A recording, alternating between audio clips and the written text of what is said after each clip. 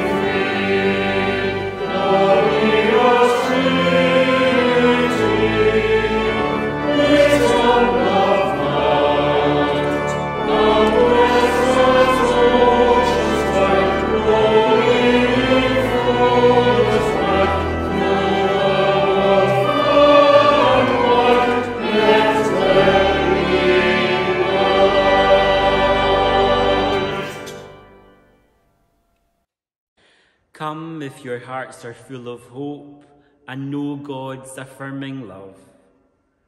Come if your hearts are full of tears and be touched by God's healing love. Come, whether it's your first or a hundredth time, and be filled to overflowing with God's generous love. Come and see God's glory. Let's draw close with our prayers of adoration and confession. There is glory within each sunrise, Lord, a warm effusion of praise reaching upwards and out, connecting earth with heaven, creator with created, shafts of sunlight arms outstretched in worship. Encourage participation from those who watch and wonder at the beauty of it all.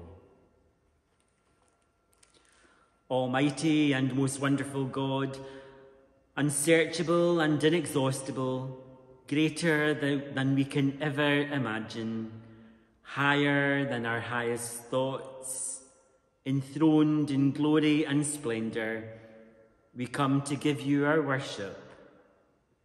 We come to praise you for your faithfulness, your goodness, your kindness, and your forgiveness. Almighty and everlasting God, we come to speak, to listen, to seek, and to find.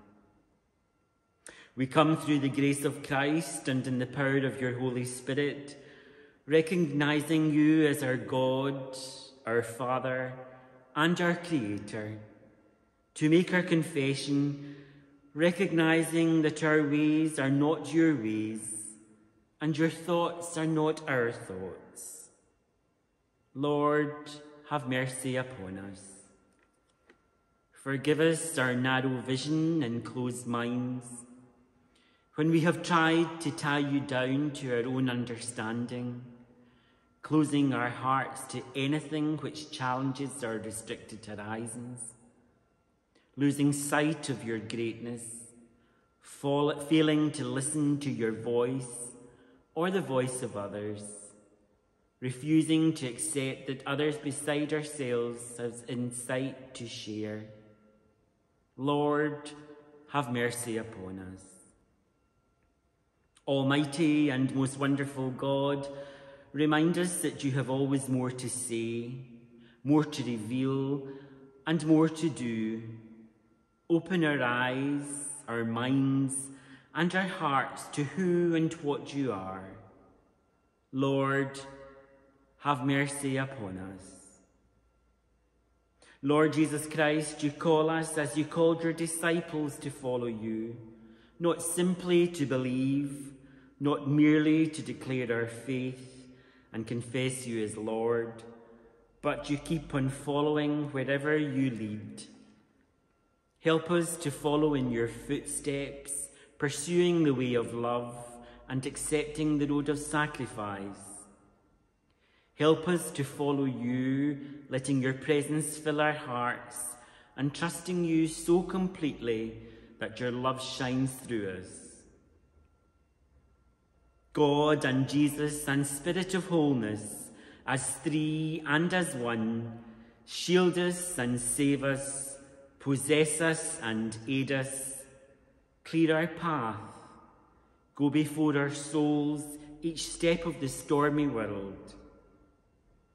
We pray the words that Jesus himself taught us to pray together, saying, Our Father, who art in heaven, hallowed be thy name.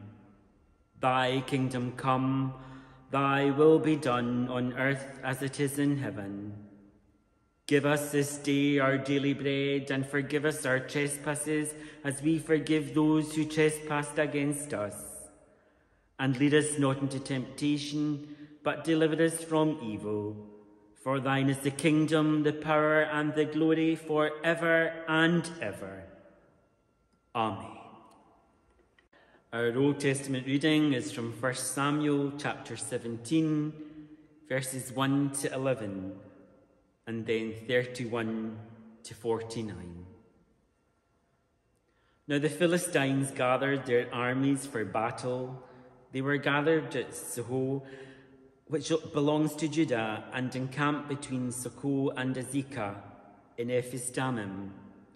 Saul and the Israelites gathered and encamped in the valley of Elah and formed ranks against the Philistines. The Philistines stood on the mountain on the one side, and Israel stood on the mountain on the other side, with a valley between them. And there came out from the camp of the Philistines a champion named Goliath of Gath, whose height was six cubits and a span. He had a helmet of bronze on his head, and he was armed with a coat of mail. The weight of the coat was 5,000 shekels of bronze. He had greaves of bronze on his legs and a javelin of bronze slung between his shoulders. The shaft of his spear was like a weaver's beam, and his spear's head weighed 600 shekels of iron, and his shield bearer went before him. He stood and shouted to the ranks of Israel, Why have you come out to draw up for battle? Am I not a Philistine, and are you not servants of Saul? Choose a man for yourselves, and let him come down to me. If he is able to fight with me and kill me, then we will be your servants. But if I prevail against him and kill him, then you shall be our servants and serve us. And the Philistines said, Today I defy the ranks of Israel. Give me a man that we may fight together. When Saul and all Israel heard these words of the Philistine, they were dismayed and greatly afraid. When the words that David spoke were heard, they repeated them before Saul, and he sent for him. David said to Saul, Let no one's hearts fail because of him. Your servant will go and fight with this Philistine. Saul said to David, You are not able to go against this Philistine to fight with him, for you are just a boy, and he has been a warrior from his youth. But David said to Saul, Your servant used to keep sheep for his father, and whenever a lion or a bear came and took a lamb from the flock, I went after it and struck it down rescuing the lamb from its mouth, and if it turned against me, I would catch it by the jaw, strike it down, and kill it. Your servant has killed both lions and bears, and this uncircumcised Philistine shall be like one of them, since he has defied the armies of the living God. David said, the Lord has saved me from the paw of the lion and from the paw of the bear, will save me from this hand of the Philistine. So Saul said to David, Go, and may the Lord be with you. Saul clothed David with his armour. He put a bronze helmet on his head and clothed him with a coat of mail. David strapped Saul's sword over the armour, and, the and he tried in vain to walk for he was not used to them. Then David said to Saul, I cannot walk with these, for I am not used to them. So David removed them. Then he took his staff in his hand and chose five smooth stones from the wadi and put them in his shepherd's bag. In the pouch, his sling was in his hand, and he drew near to the Philistine. The Philistine came on and drew near to David with his shield bearer in front of him. When the Philistine looked and saw David, he disdained him, for he was only a youth, ruddy and handsome in appearance.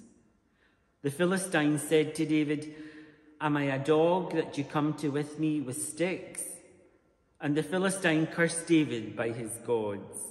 The Philistine said to David, Come to me, and I will give you your flesh to the birds of the air and to the wild animals of the field. But David said to the Philistine, You come to me with sword and spear and javelin, but I come to you in the name of the Lord of hosts, the God of the armies of Israel, whom you have defied. This very day the Lord will deliver you into my hand, and I will strike you down and cut off your head. And I will give you the dead will give the dead bodies of the Philistine army this very day to the birds of the air and to the wild animals of the earth, so that all the earth may know that there is a God in Israel, and that all this assembly may know that the Lord does not save by sword and spear, for the battle is the Lord's, and he will give you into our hand. When the Philistine drew nearer to meet David, David ran quickly toward the battle line to meet the Philistine. David put his hand in his bag, took out a stone, slung it, and struck the Philistine on his forehead. The stone sank into his forehead, and he fell face down on the ground. Amen.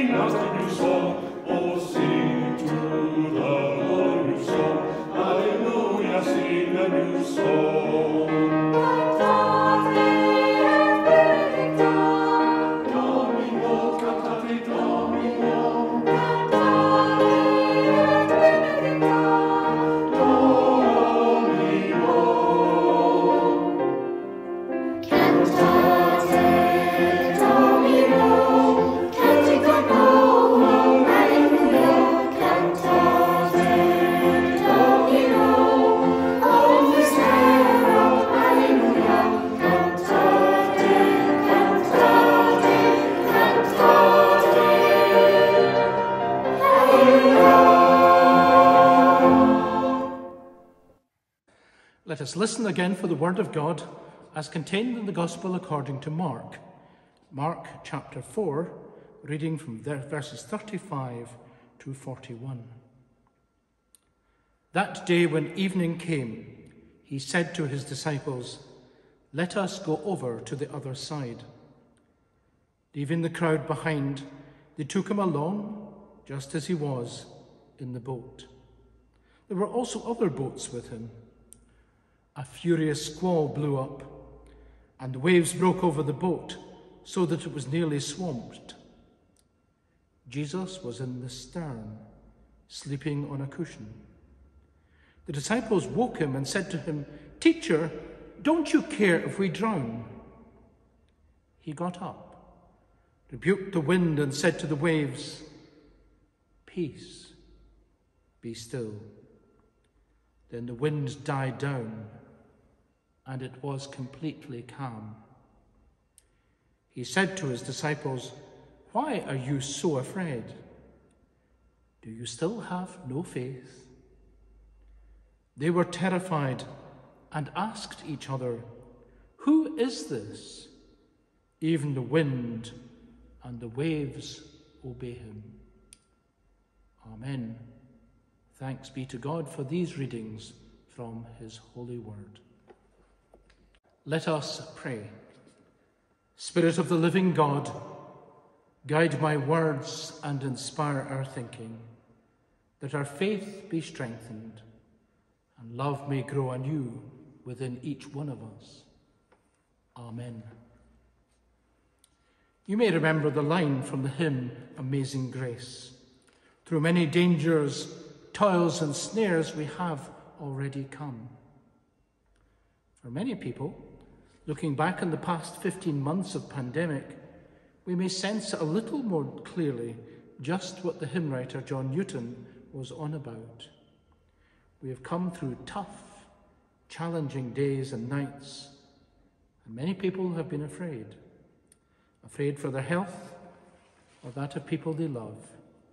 Afraid for the well being of their children and their education. Afraid for their jobs or businesses. Who wouldn't be?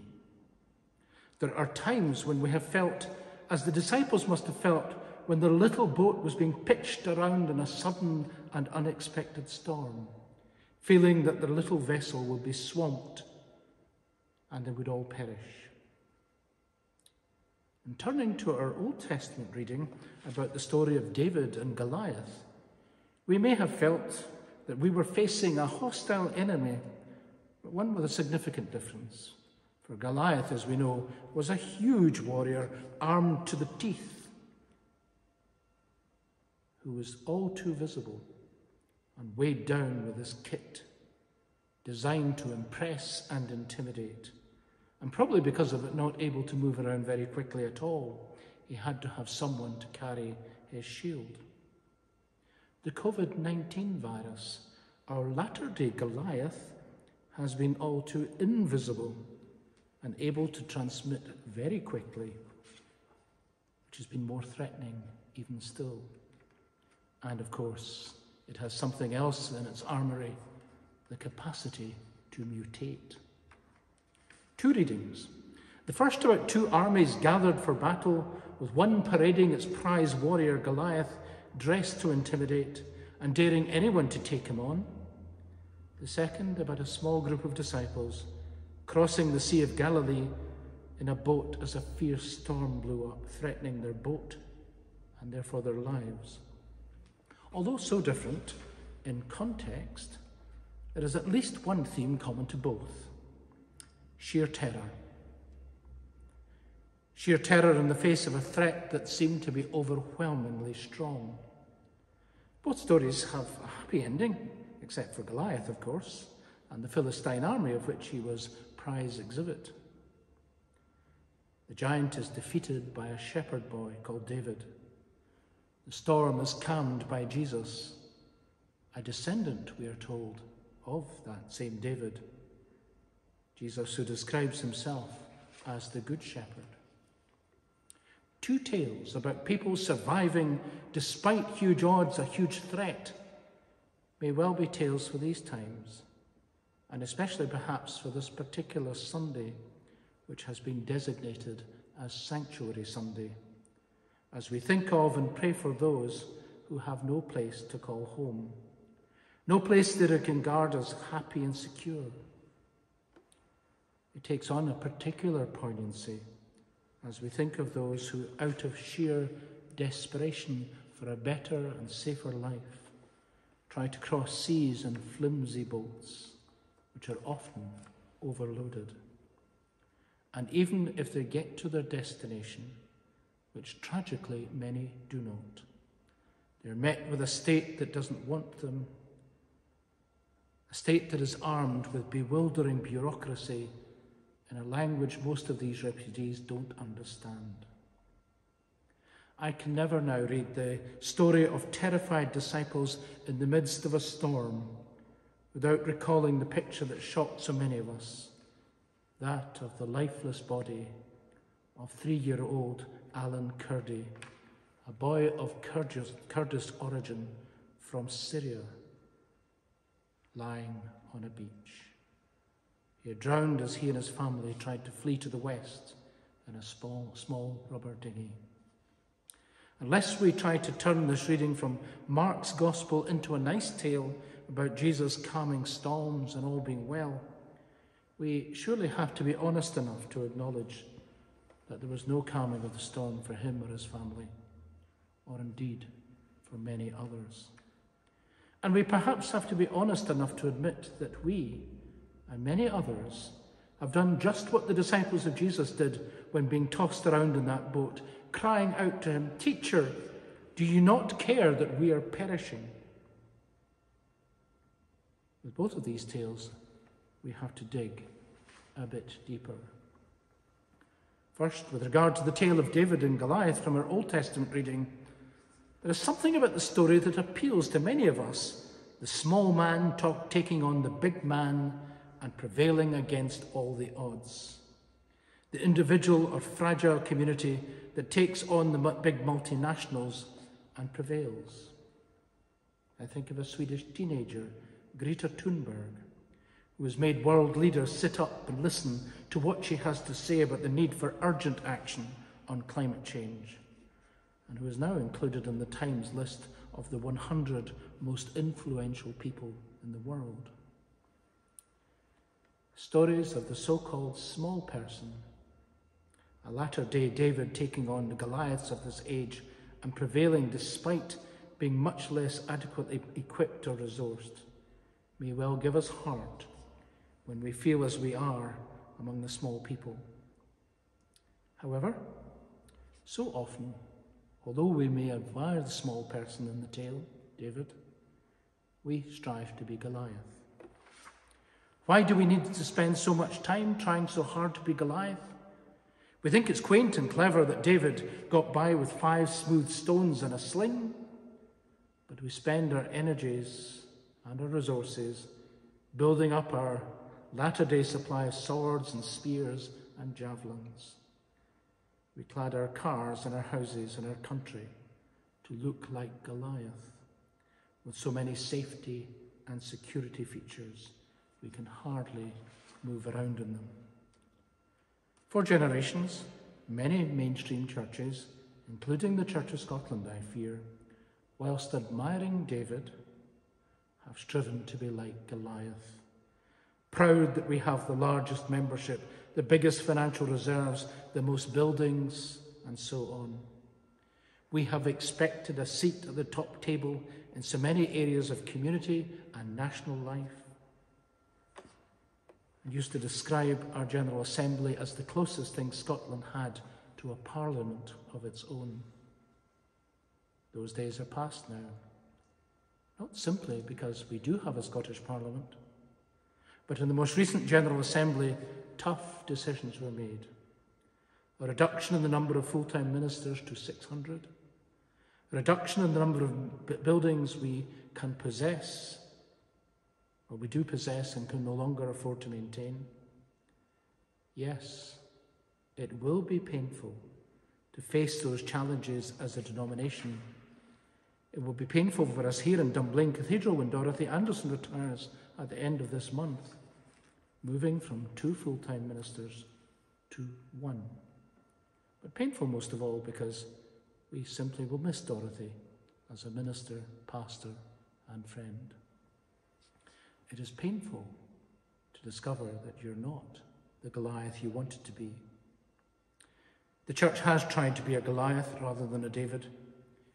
We once had a member of this congregation, now gone to glory, who complained at one point that ministers of Dunblane Cathedral were shorter than they used to be. A taller minister was surely, in her view, so much more in keeping with the place. She wanted a Goliath rather than a David. Yet, is all this as bad as we tend to think it is? I dare to believe that approached in the right spirit and with humility, imagination, and faith, these can be exciting times for the church at large as we become leaner, more flexible, and perhaps humbler and more accessible. Like David, we don't need to don armour that matched what Goliath had or what our forefathers had. But we need to recognise the value of what we do have to hand the gifts of the people in our midst, the gifts of the people of this and many communities that they would be bring, willing to bring if we only thought to ask and to encourage them.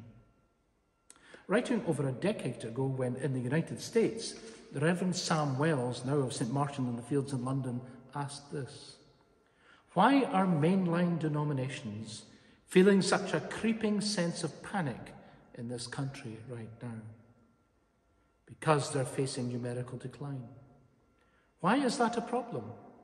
After all, Christianity isn't any less true just because it is less widely believed. The reason it's a problem is that mainline denominations have assumed for as long as anybody can remember that they're supposed to be Goliaths. They're supposed to be huge. They're supposed to be important. They're supposed to be players on the national stage. They're supposed to be the acknowledged voice of the people. All the things that Goliath was, all the things that David wasn't. The element, the other element that links these two very different tales together is faith. Faith in God in the midst of what shakes and even terrifies us. Back to the second reading reading from Mark. I don't know what you make of Mark's account of the calming of the storm. Is it literal truth or something that calls for a rational explanation? For to regard it only in a literal way, that Jesus really did command the wind and the waves to be still, can raise as many questions as it addresses. It is, is that the only sort of storm that he stills? Does it have any relevance for us today? especially for those of us who rarely, if ever, step on a boat? And what of the many storms at sea or wherever that God or Jesus simply have not stilled? But the so called rational explanation, to which others adhere, that the storm just happened to die down at the very moment that Jesus spoke, is hardly satisfactory either. Does that not cast Jesus into the role of a con man? who uses the sudden calming of the storm, which can and does happen in the Sea of Galilee due to the geography of the place, as a way of convincing the disciples that he has great power. We should not subject such an account as this to the limits and norms of our own times or simply our own understanding, for that not only diminishes God in our eyes, and blunts our understanding, missing the symbolic value and subtlety of what Mark and other gospel writers have to tell us.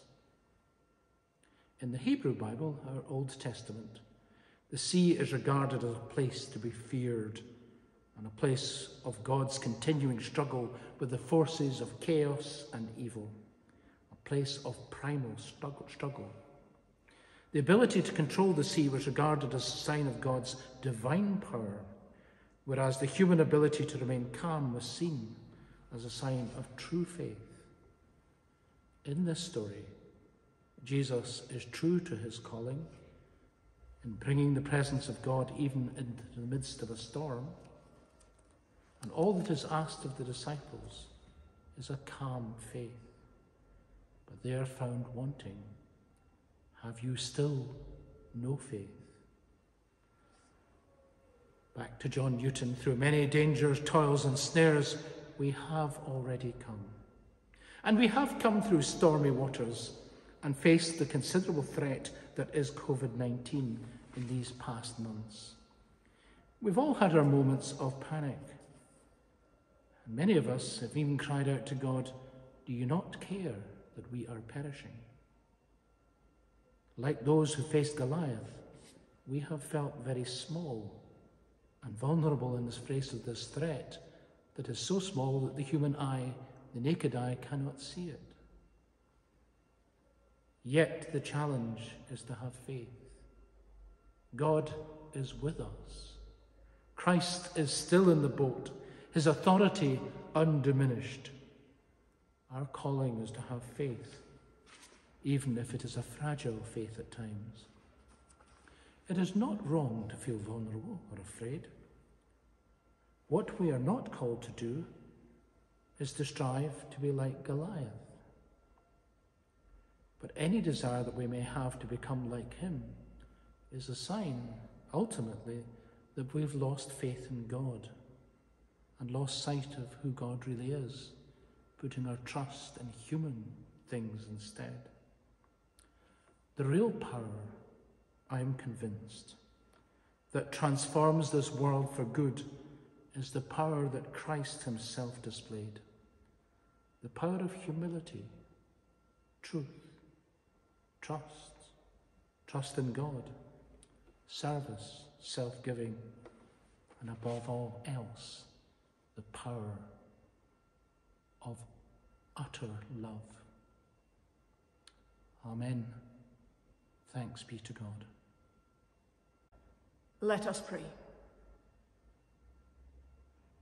In the peace of this sanctuary, we come before you, God who cares for us as a father, strong, unyielding, ageless. In the tranquility of our homes, we come before you, God who mothers us with gentleness, compassion, and understanding. With thankful hearts for the unity of God, the three in one, neither male nor female, defying description, but who lived among us in sonship and lives within us still in the animating force of the Spirit, we offer our prayers to the one whose likeness, despite our diversity, we all share.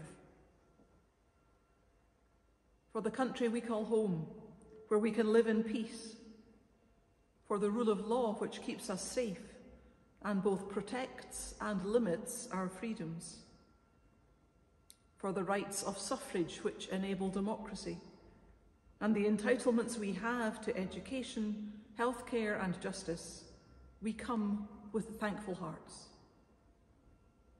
But these liberties which we acknowledge are often also things we take for granted. Despite the evidence all around us, which should awaken our senses to the plight and desperation of so many people who are denied even the most basic of human rights. On this Sanctuary Sunday, help us to lift our eyes beyond the beauty of this space, to see beyond the familiarity of our homes, and to notice, really notice, the asylum seekers and refugees in our midst, those who have braved the storms of life which have disturbed their hearts and minds and souls, so that the best option is the dangerous and difficult journey on stormy waves and in cramped conditions. Those who have found the courage to leave behind the familiar to embrace the new, be that a new country, culture, and language, or a new start following an abusive relationship or addiction. God of tenderness and strength, help us to look as if seeing with your eyes, and to have the courage to face up to the forces which threaten disaster. So that not only will we see the refugees, we will also be ready to act for and with them, to offer hospitality and welcome, friendship and appropriate help. With gladness, we offer our thanks for the life and example of your Son, Jesus Christ, a calming presence amidst the storms, a powerful presence when all seems lost, and by whose death and resurrection we have the reassurance of life in fullness which awaits us in the next dimension. Because he lived our lives, he learned of the highs and lows, the peaks and troughs of human experience. And so we give you thanks that even when we have not acknowledged his presence, he has been beside us as we have negotiated the choppy waters of the COVID 19 pandemic and is with us still. That even when we doubted or accused him of not caring about us, his love has been unending and his care has been all encompassing. With confidence in that enduring love and care, we bring you our prayers for those who are in need or in our thoughts. People who are ill, whether with physical or mental ill health, or for, and for whom these times cause added strain. People who are finding it increasingly difficult to manage even the routine tasks of daily life and think that they are a burden on those who must now care for them.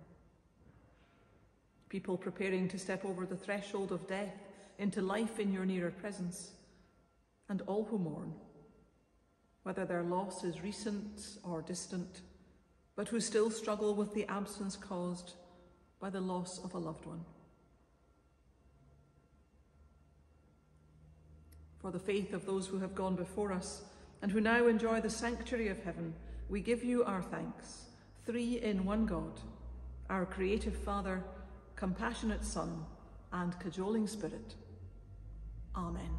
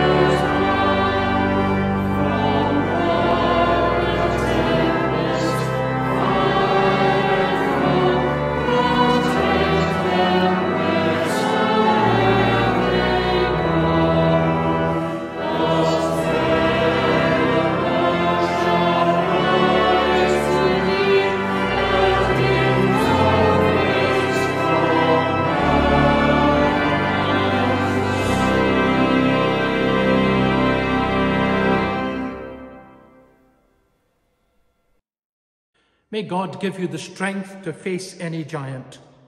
May God persuade you to meet them with grace.